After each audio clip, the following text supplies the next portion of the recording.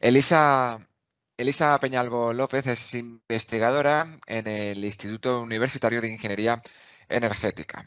Es profesora, contratada doctor de esta, doctora de esta universidad, perteneciente al Departamento de Ingeniería Eléctrica y al Centro, en la Escuela Técnica Superior de Ingeniería del Diseño. Con ella vamos a hablar a continuación durante los próximos minutos de investigación. Y lo primero que le preguntamos es en qué trabaja Elisa Peñalvo, cuál es su campo en el ámbito de la I+.D. Bueno, yo, eh, mis principales actividades de investigación son la sostenibilidad energética, donde a través de diferentes indicadores energéticos que hemos definido podemos evaluar el impacto de diversas o varias tendencias en escenarios energéticos. Por ejemplo, dígase la penetración del vehículo eléctrico o si existen nuevas tecnologías de limpias basadas en renovables, cómo todo ello va a afectar al contexto energético que estamos viviendo hoy en día. Otra de las líneas que tenemos es también la integración, que está en la integración de distintas energías renovables en los distintos sectores, así como la combinación de las mismas para poder responder mejor o de una manera más eficiente a, las curvas de demanda. Y por último, intentar también que esas curvas de demanda se adecúen a la generación para intentar casar eh, esas dos, tanto en la generación como el consumo. Esas son ¿Cómo, ¿Cómo llegas aquí, Elisa, eh, a dedicarte a este campo, a la ingeniería energética? Bueno, eh, empezó todo, eh, acabé haciendo un máster eh, asociado a las energías renovables y la eficiencia energética y todo ello descubrió en mí que tenía mucha curiosidad sobre estos temas. Veo que son un ámbito muy amplio y que hay mucho por hacer en temas de sostenibilidad energética, sobre todo hoy en día si queremos alcanzar un, desarrollo limpio y, reducir todo el impacto que está teniendo el cambio climático y ahí un papel muy importante lo van a jugar las tecnologías más eficientes y más limpias, entre ellas las energías renovables. ¿Y de siempre te gustó eh, la, investigación, Elisa? ¿O no? ¿O se fue descubriendo poquito a poco? No, la verdad es que yo creo que a, a, mí me encantó desde el principio y yo creo lo que ocurre es que creo que no nos damos cuenta de que nos encanta. E, ese es el gran problema. No somos conscientes de que somos perfiles que luego vamos a querer investigar. Y una manera muy clara, que yo ahora lo veo en algunos de mis alumnos, es que son muy curiosos, tienen ganas de investigar sobre cosas nuevas, tienen ganas sobre analizar nuevas tendencias, eh, de mejorar los procesos que hay actualmente, mejorar la sociedad y todo eso ya son indicativos de que, de que nos gusta la investigación y de que podemos aportar mucho en este campo. ¿Y mm, hay alguien clave eh, para que Elisa Peñalvo haya llegado hasta aquí en esta investigación, eh, se decantara por, por las ciencias, por la ingeniería? ¿Tienes algún referente que digas, este sin duda o esta sin duda es la persona con la que más me ha marcado.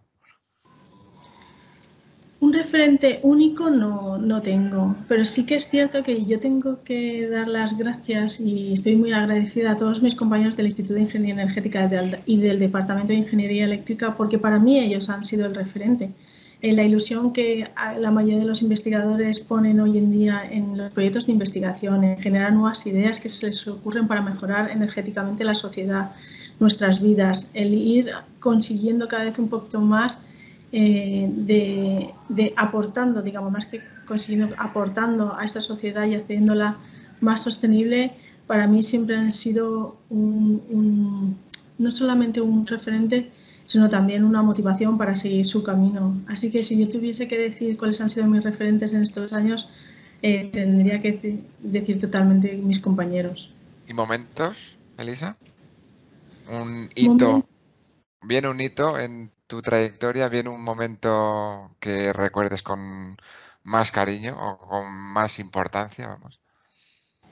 Un hito muy importante que hemos logrado este año ha sido, hemos conseguido un proyecto de 10 millones de euros en la Unión Europea que se llama Diversity, que es para decarbonizar las ciudades siempre desde un punto de vista no solamente energético, sino más holístico, desde los distintos puntos de vista, teniendo, poniendo en valor una parte muy importante que es la, la sociedad y la diversidad que tenemos dentro de nuestra sociedad y que sea una participación inclusiva, que no se deje a nadie atrás, y, porque todos al final podemos contribuir a decarbonizar las ciudades, a hacerlas más sostenibles y a vivir en un sitio eh, más agradable para todos.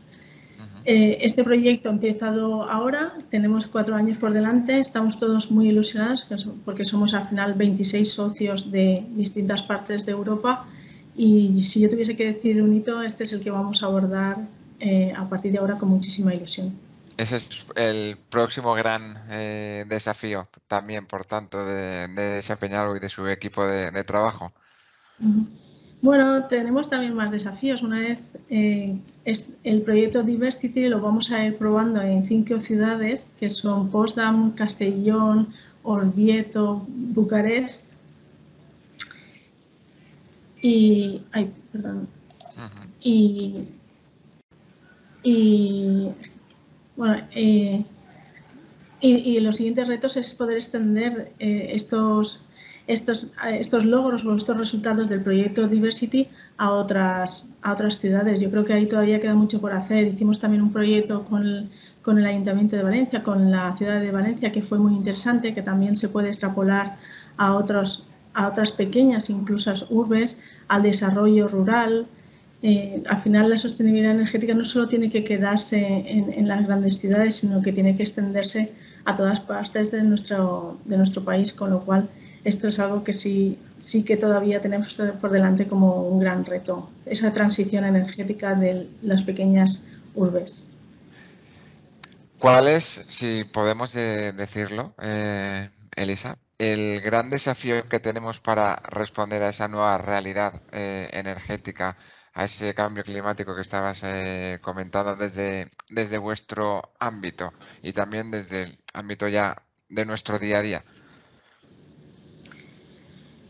¿Cuál es el desafío? Yo creo que no somos nosotros mismos. Eh, al final, la propia, la propia, sociedad tiene que ser consciente de que es un reto que tenemos por delante, pero que tenemos que abordarlo rápidamente.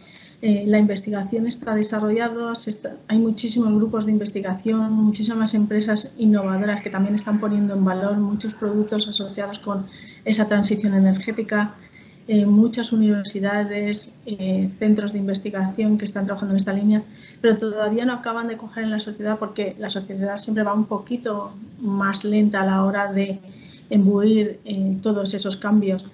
Sí que es cierto que todos somos un poquito más conscientes, pero nos falta a nivel eh, de día a día, de ciudadano a ciudadano, ser más conscientes y aportar nuestro granito de arena en todo. Vamos a ir cerrando eh, hemos conocido eh, cómo llegaste también al mundo de, la investigación, la importancia del trabajo conjunto con los compañeros del Instituto de Ingeniería Energética.